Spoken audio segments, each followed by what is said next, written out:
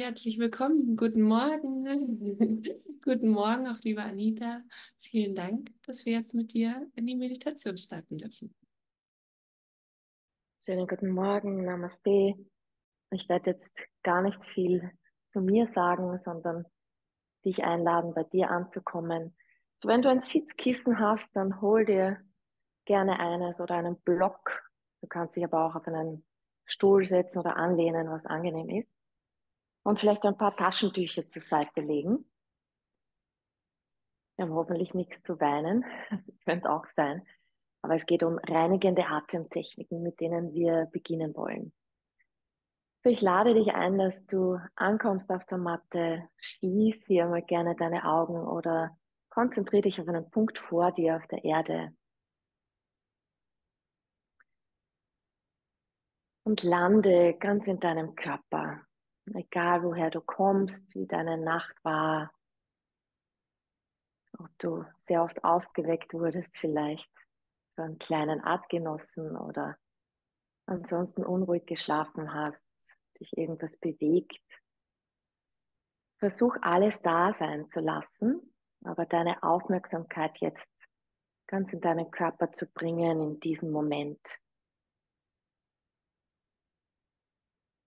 Und nimm wahr, wie sich dein Körper anfühlt, so ganz von innen heraus. Und lande auf deinen Sitzbeinhöckern und bau dir deine Wirbelsäule ganz stark und stabil Richtung Himmel auf.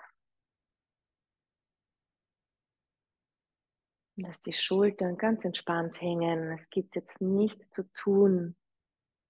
Du darfst sein. Und dann beobachte ich hier deine Atmung. Ganz simpel. Einfach das Ein- und Ausatmen wahrnehmen. Im Yoga wollen wir durch die Nase geführt ein und auch ausatmen.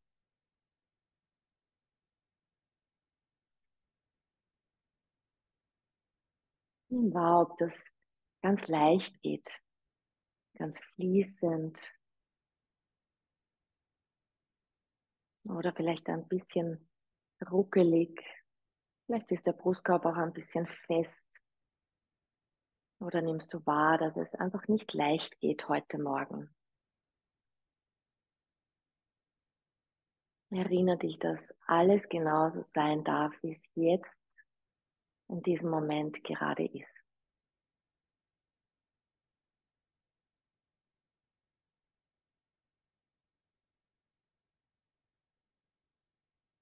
Und dann beginnen nach und nach den Atem tiefer fließen zu lassen, so auszubreiten in den ganzen Körper. Durch die Nase ein und aus.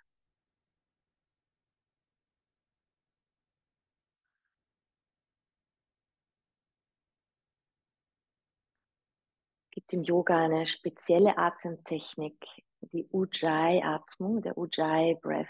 Es ist eine siegreiche Atmung, Meeresrauschen, gleich dem Meeresrauschen.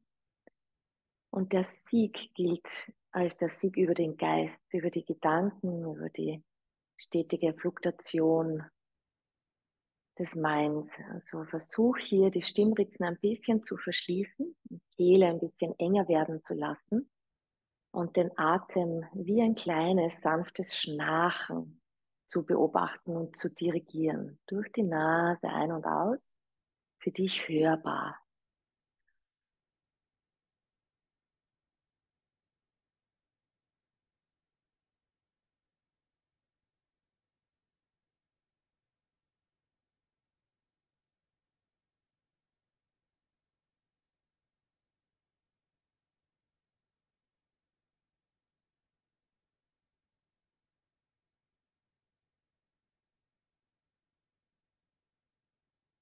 Lass den Atem immer tiefer werden, länger. Vielleicht ist auch eine Wellenbewegung, eine Meeresbewegung für dich ein angenehmes Bild, dann stell dir das auch gerne vor. wie so Wellen, die auf dich zukommen und wieder von dir wegfließen.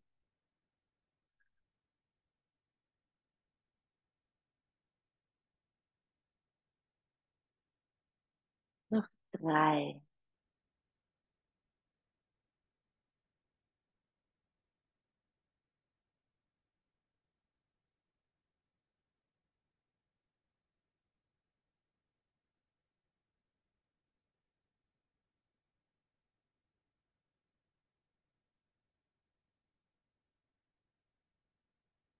Ein letzter Atemzug so.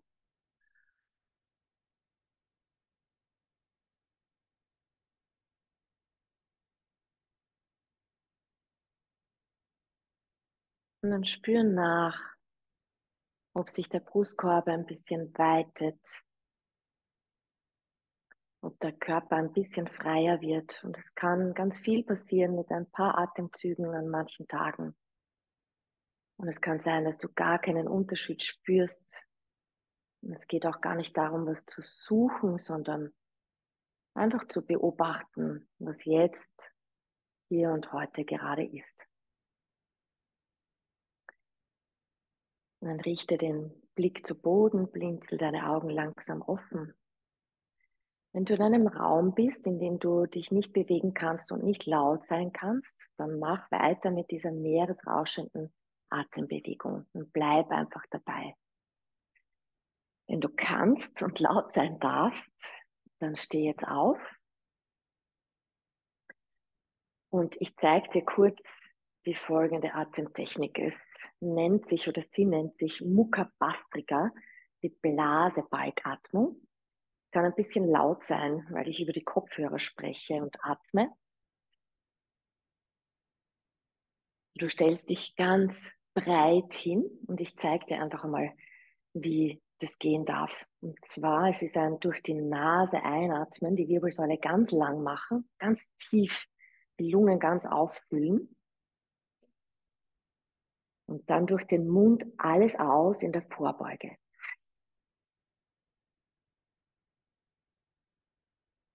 Und es ist wirklich ein, die Lungen, das ganze Gewebe auspressen. Also du sollst so ausatmen, dass du das Gefühl hast, es ist gar nichts mehr drin.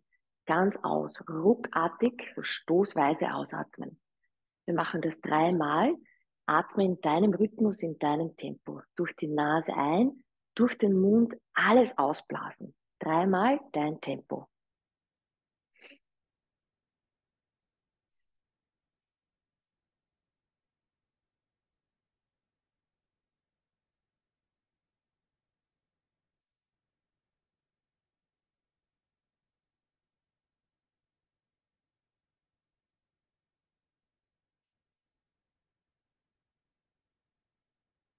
Dann richte dich langsam auf. Komm an im Stehen, in der Bergposition, Tadasana. Wenn dir schwindlig ist, lass die Augen gern geöffnet. Ansonsten schließe sich hier nun wahr, wie vielleicht mehr Freiheit entsteht im Nacken, in den Schultern, im Brustraum. Und lande auf deinen Füßen, auf der Erde heute Morgen in deinem Körper.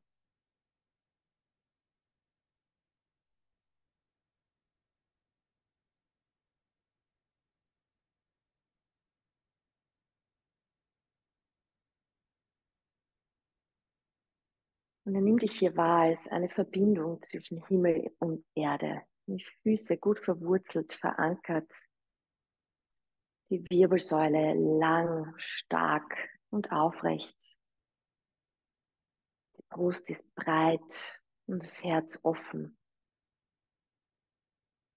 Und das Schädeldach steigt auf Richtung Himmel. Nimm dich wahr in deiner ganzen Präsenz.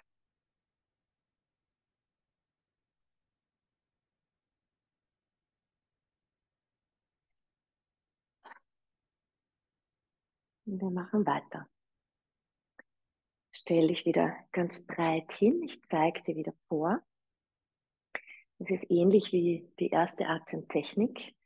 Wir atmen durch den Mund ein, alles aus Und dann ziehen wir den ganzen Bauch und kleinen Beckeninhalt nach oben Richtung, ja, Richtung Zwerchfell, halten hier.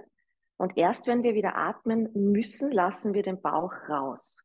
Ich habe es vorher falsch gesagt. Es ist durch die Nase ein, durch den Mund aus. Alles hochholen Richtung Zwerchfell. Halten so lange, bis du wieder atmen musst. Bauch rauslassen. Das ist ein bisschen viel für den Kopf. Ich sage es einfach an, während wir das machen. So, wir atmen durch die Nase ein,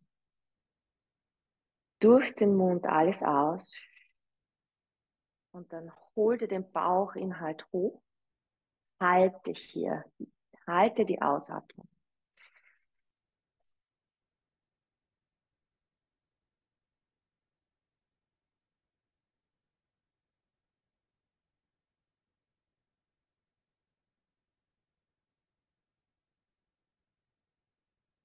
Wenn du wieder einatmen musst, atme wieder ein. Es ist ein, es ist wirklich ein,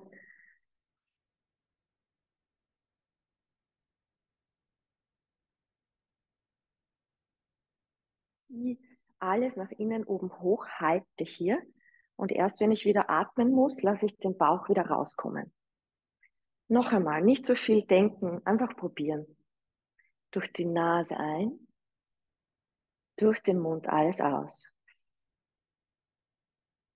holen.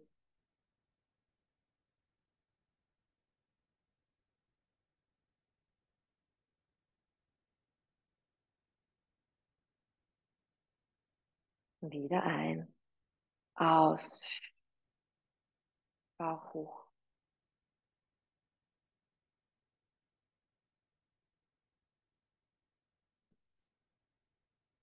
Letztes Mal.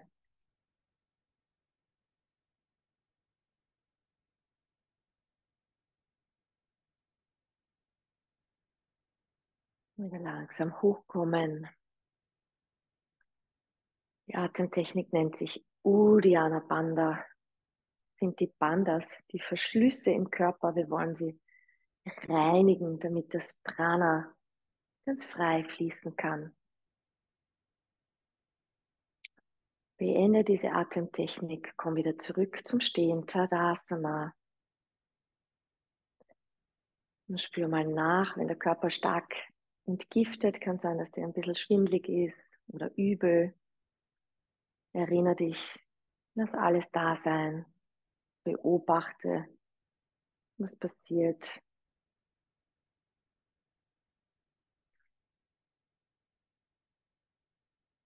Erde dich noch einmal hier im Stehen.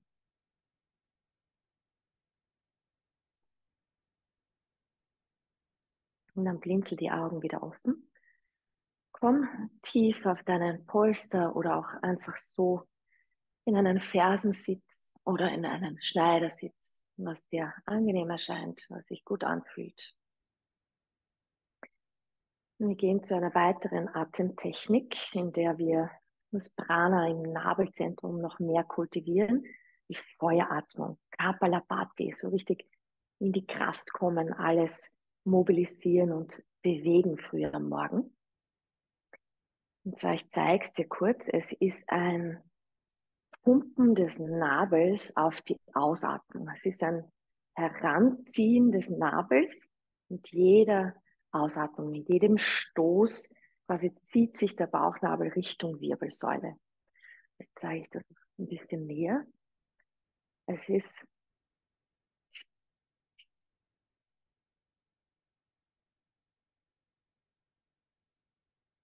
Und es ist ein, ein Fließen lassen auch hier. Wenn du das noch nie gemacht hast, ist es vielleicht ein bisschen ungewöhnlich.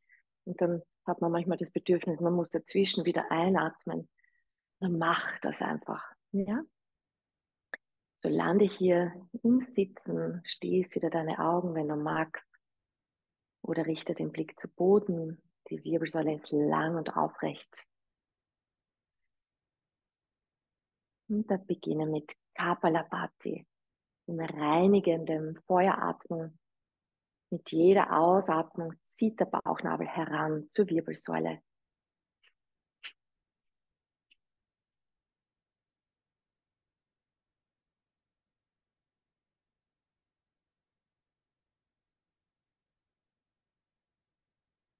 Schultern bleiben entspannt. Atme in deinem Tempo. Das kann ganz anders sein als meines heute Morgen.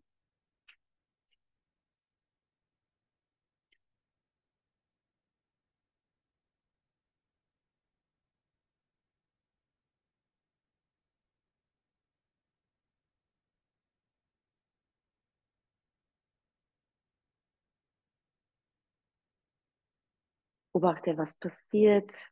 Wo sind deine Gedanken? Komm ganz zur Atmung, zu dieser Technik. Vielleicht möchtest du auch viel langsamer atmen. Einfach kraftvoll.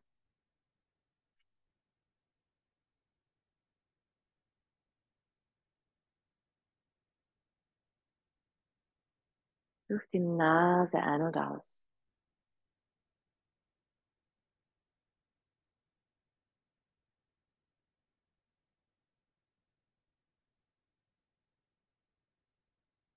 Und dann entspann wieder komplett.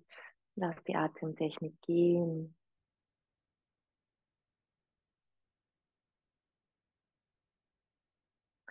Spür nach die Wirbelsäule, vor allem die Chakren, die Nadis, die sich aufreihen vom Schädeldach hinunter Richtung drittes Auge, den Punkt zwischen den Augenbrauen, weiter zur Kehle in Richtung Herzzentrum, von dort zum Nabel, eine Handbreit unter den Nabel bis zum Steißbein. Und hier fließen auch alle deine Nadis, die Energiekanäle, den Körper durchziehen. Lass den Atem hier ganz frei fließen von oben nach unten und von unten nach oben in deinem Rhythmus.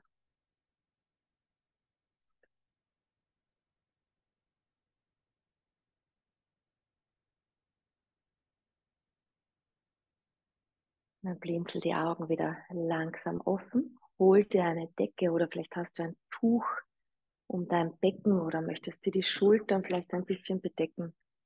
Vielleicht fühlst du dich aber auch schon ganz wohl und brauchst gar nichts.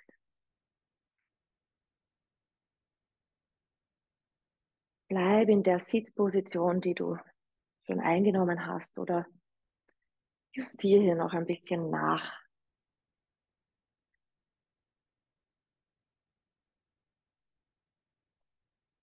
Und dann lande auf den Sitzbeinhöckern in einer aufrechten Position.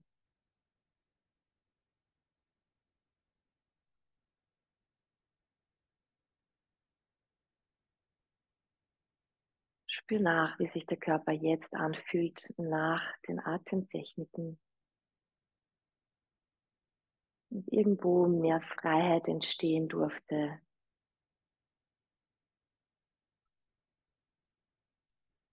Und wir gehen wieder zurück an den Anfang, wie einen Kreis, den wir hier schließen zu Ujjayi-Atem. Diese meeresrauschende Atmung in deinem Tempo durch die Nase hörbar ein und aus.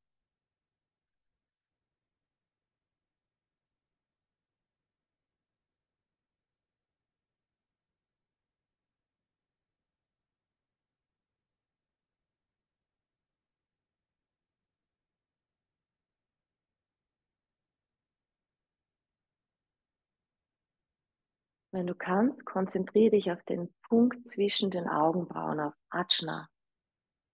Dein drittes Auge, dein Punkt für Intuition und innere Weisheit hier, das Drüsensystem. Unter geschlossenen Lidern schielen deine Augen zur Stirnmitte.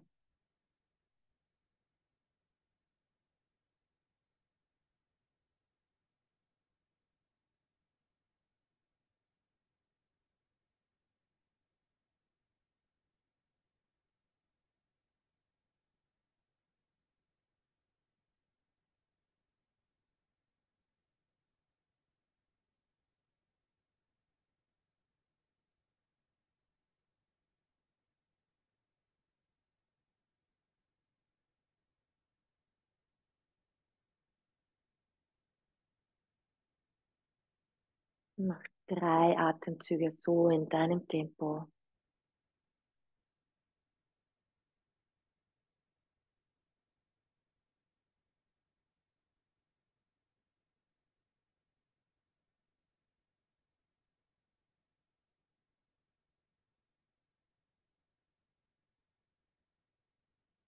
Ein letztes Mal.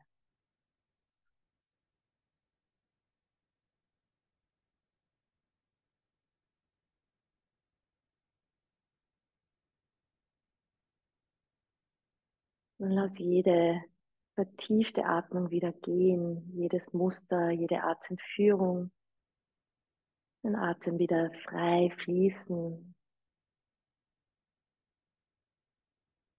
Und spür einfach nach.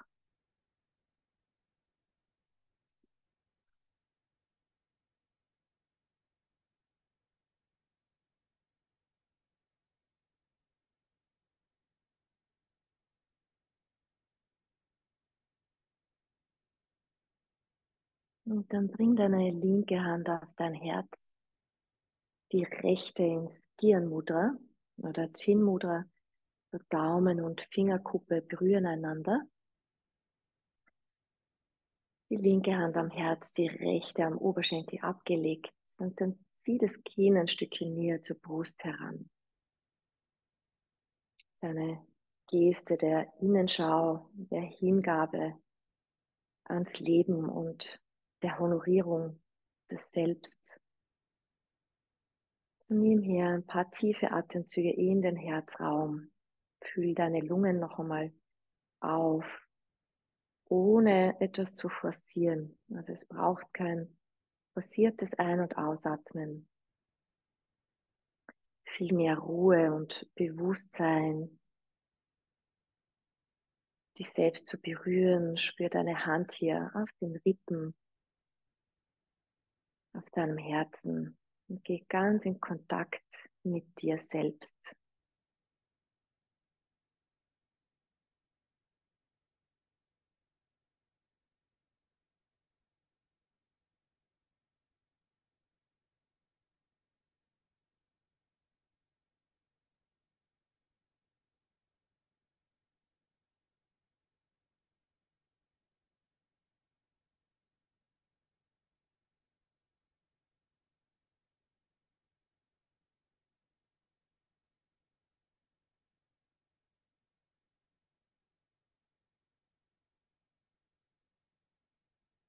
Nimm ganz bewusst deine linke Hand wahr, die Verbindung zu dir.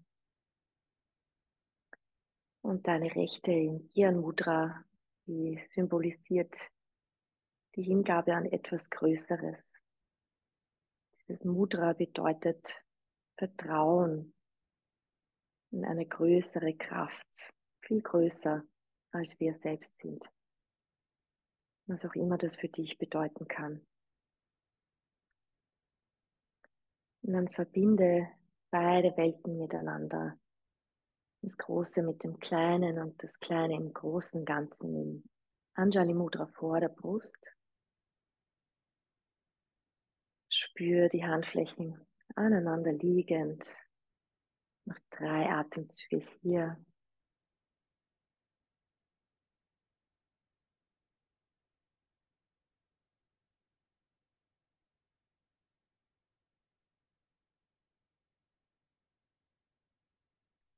Mit deiner nächsten Ausatmung beug dich Richtung Erde, verbeug dich damit vor dir selbst, vor deinem Weg und deinem Leben und vor allen anderen, die mit dir auf dem Weg sind, die dir begegnen, die entweder Freunde sind oder Lehrer. Namaste. Dankeschön. Schönen guten Morgen. Ich würde sagen, wir machen ein paar Momente Pause, dass du aufs Klo gehen kannst, vielleicht einen Schluck trinken. Und dann komme einfach wieder auf deine Matte, wenn du soweit bist. Wir treffen einander in Rückenlage zur Asana-Praxis. Ja, fünf Minuten, 37. Bis gleich.